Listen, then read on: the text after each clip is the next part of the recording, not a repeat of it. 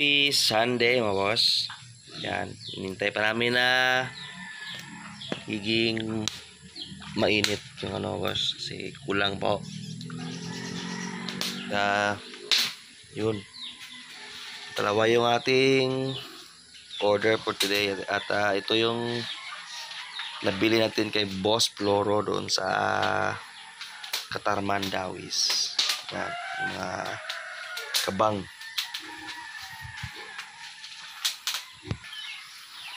Uh, yan, boss. Super ah, nipis po ng balat, pati balahibo. Napaka nipis. Yan. Sana lang ay ah, hindi mag uh, bibiyakan yan namaya, boss. Hindi mapupunit. Pagsalang natin mamaya. Ah, yan, pati yung ah, para mamayang hapon natin. Yan, para sa ACE Hospital mamayang alas 4. Yan, kinatay na namin na boss. Para isang trabaho lang. Para mamaya ay ah, magtatahi na lang. Sa ganun ay ah, hindi rin masayang yung kahoy, yung pinagkukuluan ng tubig. So, pasok natin yan sa freezer.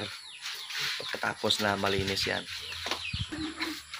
At ah, for, for today's video nga pala mga boss ay ah, tayo ay mag-refresh na naman sa kung paano ho ah, paano kami magtahi ng aming ah, litson baboy. Yung dubling tahi mga boss na iwas tagas din. Na yun na isang ah, importante ho na paraan para mapanatili natin na malutong yung ating baboy litson baboy na hindi ho na babasa ng kanyang sariling sabaw. Yan, nila natapos nating biyakin na boss. Tsaka natali na rin natin sa tubo yung baboy. Yan, yung kanyang paa. Kahang lang yan. Dahil hindi masyadong, ah, hindi masyadong kalakihan tong litson natin ngayon na boss. Yun, yung tali. Hindi ko na nilak yan para mamaya hindi tayo mahirapan magbunot dyan. Tsaka yan, yung usok naka, ano na, katali na ho. Pati dito, isa rin tong uh, pundasyon na boss. Kapag ka ganyan wala akong lock dyan. Hindi ko sabihin na yung pagka ganyan na boss. Diretso lang ho. Talaga walang walang lock. Hindi ko na tinalian pa dito boss. Ito yung uso ay pundasyon din yan para yun nga talagang sasabay sa pag-ikot yung baboy sa tubo. So tayo ay magtatahi na po. Ayan, uh, ready na boss yung ating ah, tatahiin. So, para sa ating mga new subscribers dyan, yung mga bago pa ho sa ating uh, munting channel, ay uh, yan. Uh, papakita ko yung ah, paraan ng aming pagtatahi mga boss. So, narito nga pala yung aming mga ricado, yan, yung ating uh, seasoning po, sin. Uh, may black beans din, tanglad, yan, may laurel, bawang, sibuyas, lemon, at sal, saka siling haba. Yung ating dahunan, sibuyas dahunan. Yan. So, maglalagay muna tayo ng lemon, mga boss.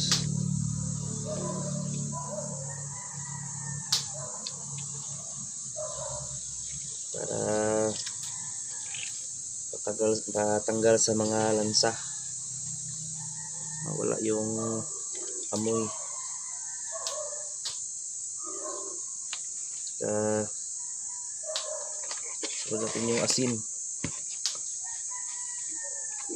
Tinatansya na lang namin yung asin dito mga boss. So ganitong size kami naglalagay po ng uh, 300 grams na asin. 300 to 350 grams po Ito ay nasa 22 kilos.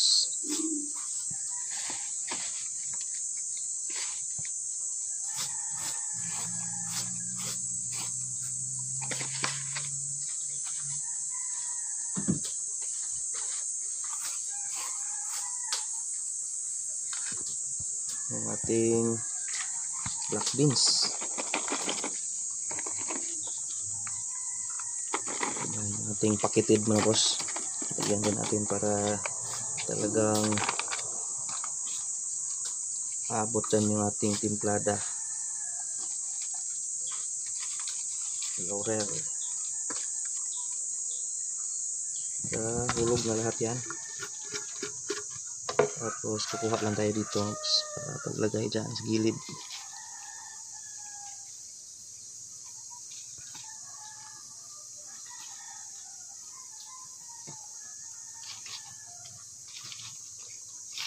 Yun. Tanglad.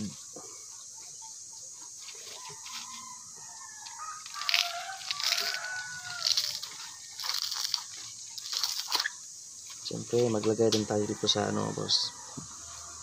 Gilid. Yung kanyang ah, talagang buko lang. Buko ba tawag dyan, Mar? Aka, ang tulitok. Palwa. so, dahunan din, oh, boss.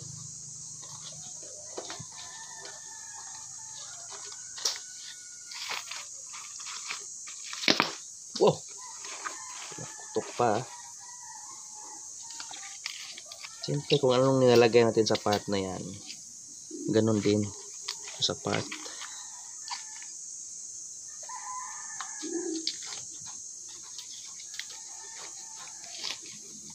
Yan.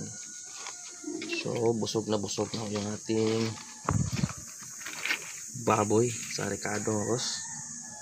At, ah, ready na rin yung ating impilya.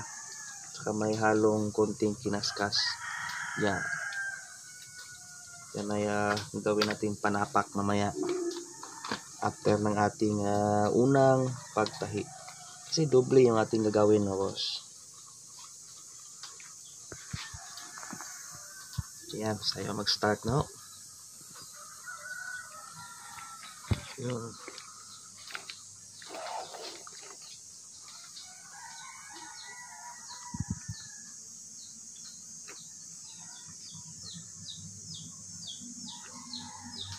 So, yung nating atahin isa yung laman to laman. At saka pa side ho. Ganyan. Ganyan yung pagtahi ko boss. Pa sideward. Yan.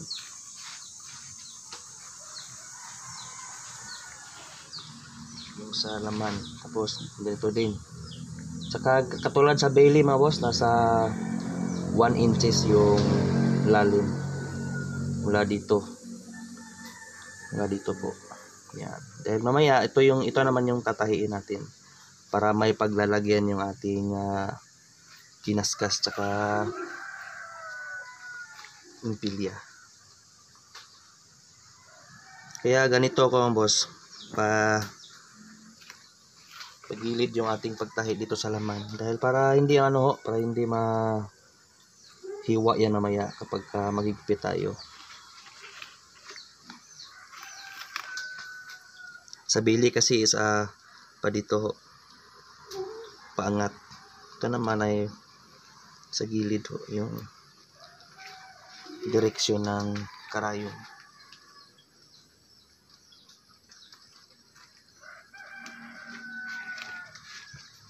Medyo may katagalan lang. Ang daming proseso mo boss. Pero kahit ah, ganito kami ka busisi magtrabaho, nag-stick na kami dito sa gawain ito mga boss dahil ah, kampante naman kami sa tuwing ah, salang na baboy. 90% po na walang tatagas talaga. Yung iba talagang diretso yung kanilang pagtahi. Tsaka natapos nila ng kahit isang wa- kahit walang wala pang minuto tapos na sila magtahi mga boss. Tsaka nakita ko rin naman na yung iba maganda po. Pero depende na lang yan sa diskarte talaga ng ah, lechonero mga boss. Pero ako ay ah, ganito ho yung na pili kong diskarte. Kaya nga lang ay ah, medyo may ka ano katagalan matapos. So ayan dahil uh, paubos na yung ano mag ano tayo mag dandahan na tayong mag-lock ngayon.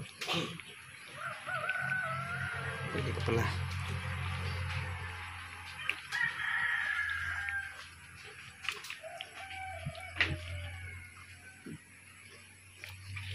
Yan.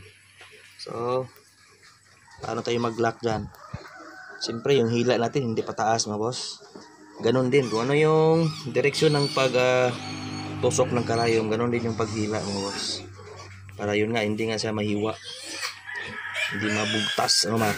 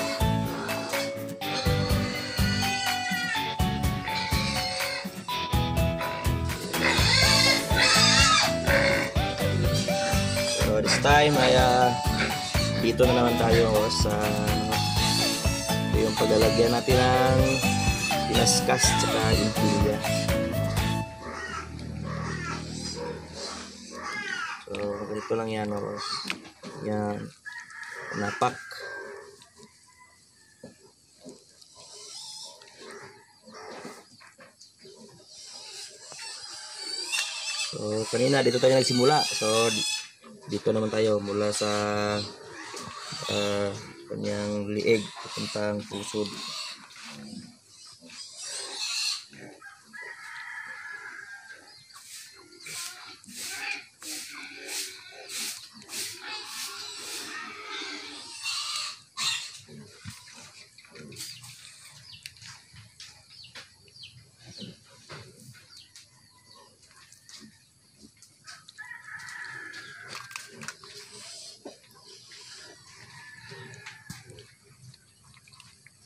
Yan. Kailangan na tusukin nyo rin to boss. To.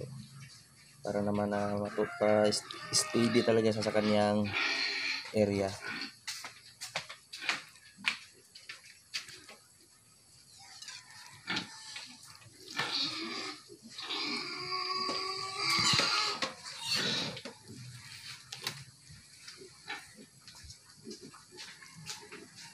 Yun. Ako ay ah, talagang nilalak ko agad para hindi na ako babalik mamaya. Isang hila lang ako mga boss. Wala nang higpit pa mamaya dahil ah, baka mahiwa ng malaki yung laman yung mapagdaanan ng juices. Tsaka hindi masyadong malayo yung distansya ng tahi natin dyan. Katulad ng dun sa Bailey mga boss. Nasa 1 inch lang yung pinaka layo. So, mas maganda, hindi abot ng 1 inch para talagang dikit na dikit talaga yung pagkatahi. Magkadikit. Ano Mar? Upo Mar. Upo Mar. Yan.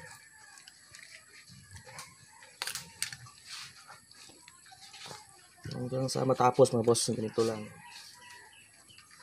Ito, yung mga kinaskas na yan. Hindi namin, hindi namin ninakaw yan. Tinanggal lang namin para ilagay dito sa part na to. Ah, para naman magiging maayos yung litso ninyo mga boss.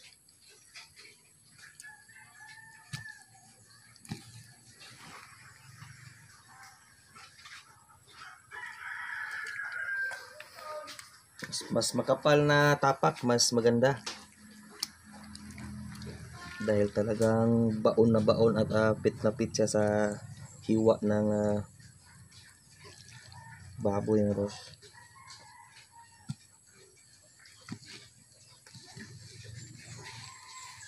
Take time lang talaga to.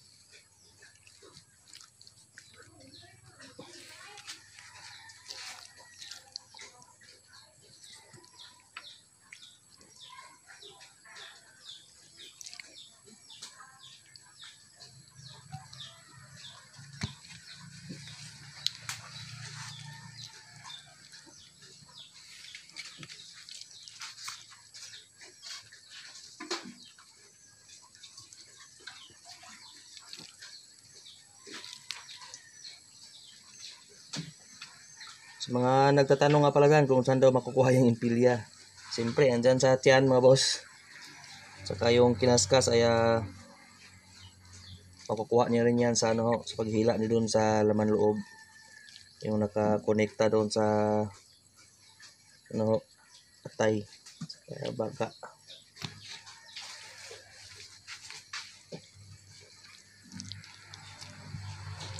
Hindi na namin uh, kinuha yung kinaskas na dito sa gilid. Dahil mayroon naman ho yung pagkila natin. Sapat na yun. Yung nasa gilid, huwag nyo nang kunin yan. Kaya baka tamaan kayo ng kidlat dyan. ah, ano Mar? Mar? Upo ba? Ano Mar, upo? Uy, ano ba upo? Sa malingan mo. Nagiging uh, deep mute na si Umar ngayon, oh.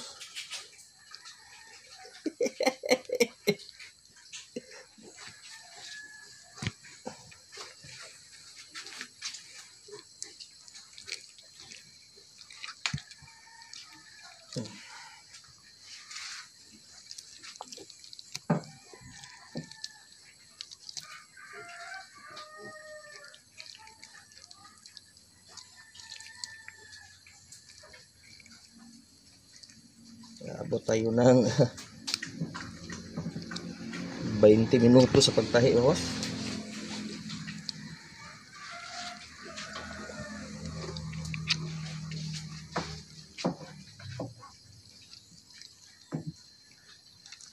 Minsan nga, lagpas pa 20 minutos. Pagka malaking baboy.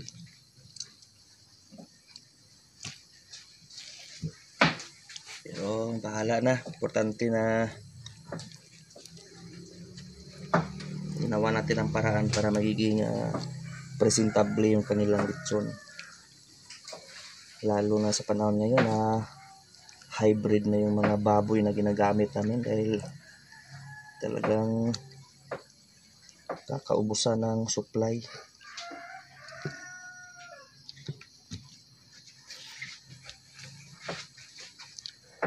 At uh, kahit mahal yung lechon ngayon boss talagang mga tao talaga eh. Parang essential lang sa kanila yung lechon. Tuwing may okasyon talagang ginawawala yung lechon ngayon no boss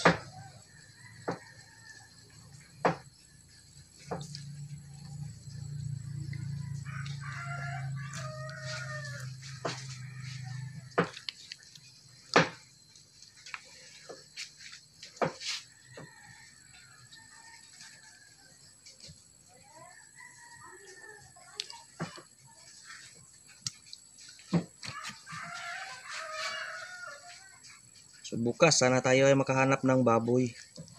Dahil uh, next week marami-rami yung ating order.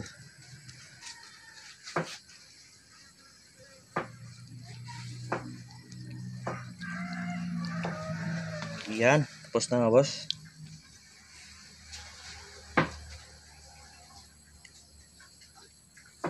Yan, i-advance natin ng konti yung lagpas sa hiwa talaga. Yung huling pag uh, tatahian natin.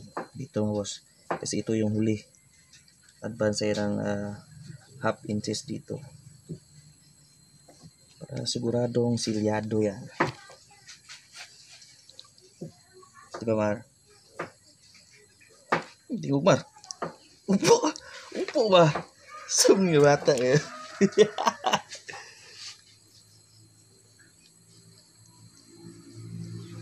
Ayan, tayo mag-lock na mga boss. Yun.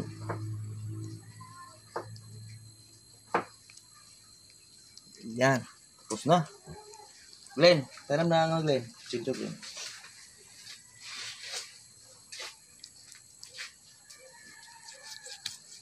Okay. Ito naman, para siguradong wala tayong nakaw, sasama natin so sa dinuguan. Konting laman na yan. Ah, yan ka punas na tayo ng camel dyan. Saka na-review na rin natin yung mga konting balahibo. Ako ay nagpapainit pa ng ah, ba, nagpapa, nagpapabaga pa tayo mga boss. So, 8.30, salang na yan. Yan, salang na tayo mga boss. Lulutuin natin ito ng 1 hour and 20 minutes. Or 1 hour and 30 minutes.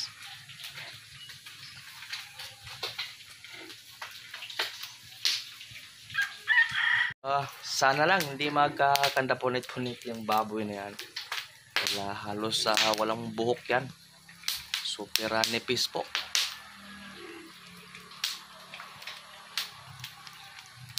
Hybrid kasi yan, boss. Dahil ito ay ah, purpose siguro ni Boss Flordan sana is uh, for patinin. Ito ay ah, Durox na bloodline. Sa 13 minutes na yan, boss. Yan. Simula nang pumulaw dun sa puwet, sa batok. Saka nakapagtusok tayo ng dalawang beses, mga boss. Yan, yung ating tahi, mga boss, na doble. Walang tagas yan. Yan. So, sana tuloy-tuloy na yung ah, pagpagpula dyan ng maga para yan tayo abutan ng ah, paglubo, mga boss. Yan ay nasa 18 minutes na, boss. Tayo ay magpunas na. Yan. Yung nakikita nyo yung parang ah, may tubig. Yan. Hindi yan tubig, mga boss. Mantika po yan. Yun yung ah, pinagtusukan ko. Mga mantika po yan. Kasi nakadagdag tayo ng tusok dalawa doon sa gilid ng tiyan, mga boss. So, bali apat yung tusok dyan. Yan, yung nagmantika dyan. Yan. Yan ay hindi po tagas yan. Mantika po yan. Yan. Saka walang tagas yan. Yun. So, yan mga boss. Pagpunas na po tayo dyan. Saka siyempre yung gamit natin yung ah, paintbrush. Gandang idea yon na binigay ni Boss uh, Crisanto, boss. Yan, time check 9:20 na po. Ating biik na palaboy. Si Rosana Roses.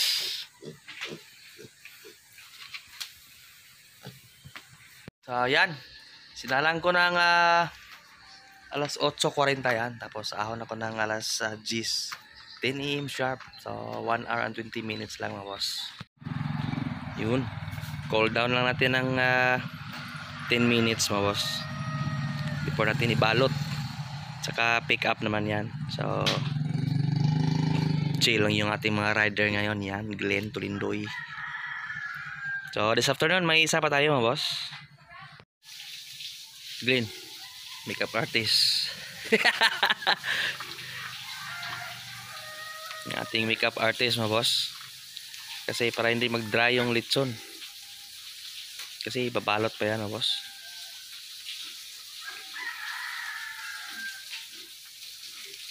Para pag open nila hindi masyadong dry yung balat.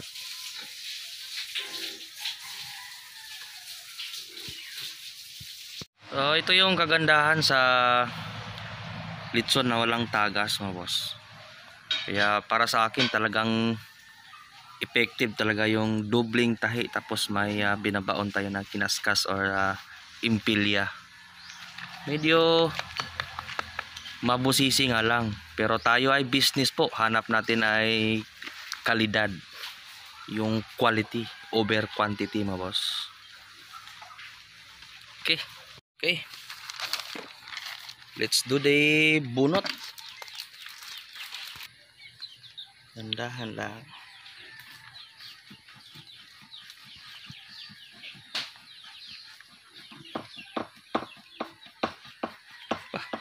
Kawanhan pa yan ha. Hindi kasi masyadong uh, ayan o boss dahil hindi marami yung tali ko dyan sa ilalim. Tapos ah, walang lock. Para naman na hindi tayo mahirapan ng bunot. Nang ah, hindi ma-apektuhan yung balat. Hindi mag-crack. Okay.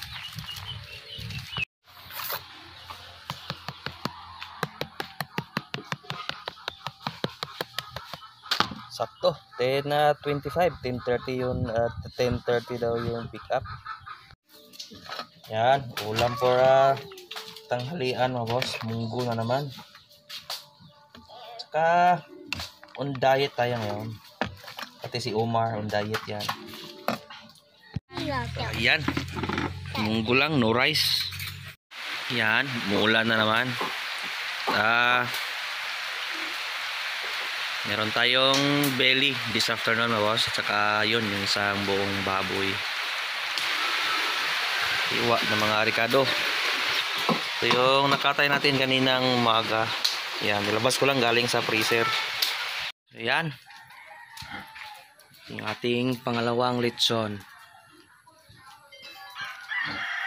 Tsaka papulahin ko lang yan. Tapos sa uh, si Glenn na yung uh, mag-continuous dyan dahil uh, may belly pa kung hindi na tayo mga boss. Tsaka busy yung dalawa doon sa uh, pagkatrabaho doon sa Lanchao yung sabaw namin para sa seaside. Yan to ay biyahe po doon sa Mansa sa Ace Hospital mga boss. So, dahil pula na yan si Glenn na yung uh, mag-iikot yan mga boss. Uh, type muna lang muna tayo ng uh, Bailey mga boss tapos din yung ating bailey yan. Uh, stress pa yung salang dyan. Kaahon ni Glenn mo boss. Kaya iikot din. Yan nakaroon na yung ating belly mo boss. Tsaka galing hong uh, tanggal yung kadena. Nayos ko na buti na lang naabutan ko yan. Pasunog na sana yan yan. Buti na lang na nakita ko pa. Uh, 5 minutes. Siguradong totong na yan ngayon, oh, boss. Saka nakapagbalot na pala sa dito. Yan. So, sila na lang yung mag-deliver doon sa Mansasa. Si Omar saka si Glenn na yung mag-deliver dyan, oh, boss. Dahil uh, tayo mag-prepare doon sa ating uh, paninda doon sa seaside tonight. So kami ay magpapaalam na po. Hanggang dito na lamang sa araw na ito mga boss. Isang masaganang masaganang pamumuhay po. Paalam! Paalam!